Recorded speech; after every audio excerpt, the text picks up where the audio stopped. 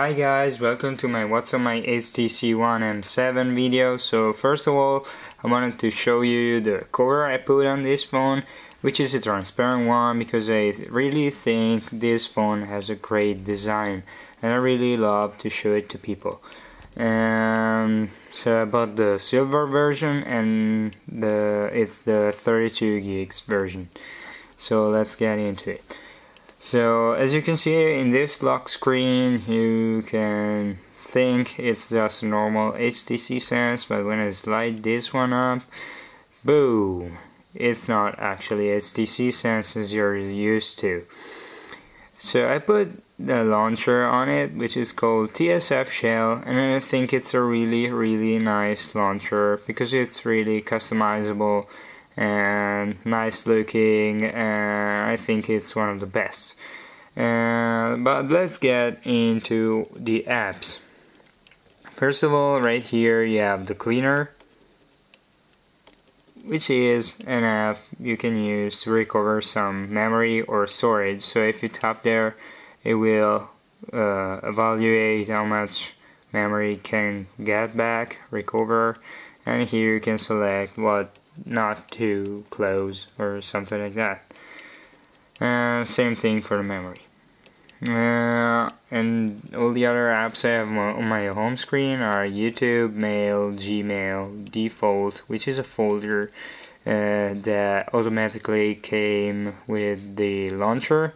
I'll show it to you in a second. And Facebook. So if I go like this, I open this folder in a really fancy way, which is typical of this launcher, um, where you can draw your own path, and that's really cool. And by the way, I'll talk about this launcher in the next uh, video, uh, which is which will be dedicated to it, I guess. So stay tuned if you wanna look at it. Um, so right here you have an hidden menu with all the most used apps and here I put the Play Store, WhatsApp, Hangouts, Google Chrome, Google Drive, Google Maps, Google Translate, and my music app.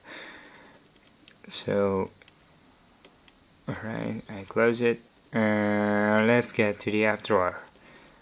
Up here, you have All-in-One Toolbox, uh, which is a really nice app to check everything about your phone such as the RAM, the ROM, the SD card, your battery info, your network info, and then take a look at all the processes and the tools. And one fancy thing about this app is that if you go here in general and then you go into boot speed up, you can choose which apps you want to launch when you turn your phone on so the next app is called App Lock, which is an app to lock some other apps. Okay, I will not show you my code, but you have to type your code in, and then here you can choose which apps you want to lock. And so when you lock an app, uh, when you open it, you will have to put your personal code in. I only lock two because you know I don't want people to get into those. Uh, Alright, so the next one is LockDApp and it's called Auto SMS so you can see how this uh, how app lock works. There you go. Um, I only installed this app because you have the schedule part of it which is really useful for birthdays or something like that if you just want to go to bed and but still send a text message to somebody after midnight, for example, and you can do it by the, using this app. The next app I wanted to show you is a keyboard, and let's just take a look at it. I just installed it, so I'm not really practical with it. And let's open WhatsApp, a chat, and let's say I want to type hi there. Alright. So as you just saw, if you swipe right, you have your space. If you swipe up and down, you can choose in between all the suggestions. There you go, for example, there is just fine. And when I uh, slide left, I will erase some mistakes, just like I did. and I can minimize or maximize the keyboard by sliding with two fingers and it's nice but it doesn't have Italian language so I cannot use it in my everyday life but for somebody speaking speaking English it will work just fine. Up next is the Humble Bundle uh, app which is nice if you ever bought some games on Humble Bundle and it's the only way to get them. Uh, so when you buy an Android game you have to it will be automatically added to this app where you can manage all your games. And you know if you don't know about Humble Bundle just take a look at it. It's really nice. But this app is actually quite laggy on HTC One so it's not that great but still it's really nice. Uh, next up is notification toggle which will be that one which I will not open from there but I will open from here. So if you uh, open your notification bar you can see these two bars I put here. So you can toggle Wi-Fi, Bluetooth and mobile data or uh, on or off and here you have the settings, the camera, the flashlight, the brightness, and the calculator. And this is all done by this really cool app uh, where you can just speed this process up instead of just dragging dragging it with two fingers down having pretty much the same things but you cannot get like the calculator in there. So it's nice if you want to speed everything up. Another app I wanted to show you is called Snapy and it's actually this little floaty square right here. It is really useful if you want to take pictures real quick because you just tap on that square and it opens the camera. And then here you can just take a picture.